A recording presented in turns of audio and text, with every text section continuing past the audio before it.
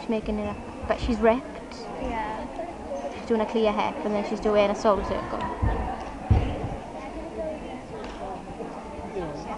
But I don't think she'll do the clear hip now. The clear hips are fine. And now she just fell.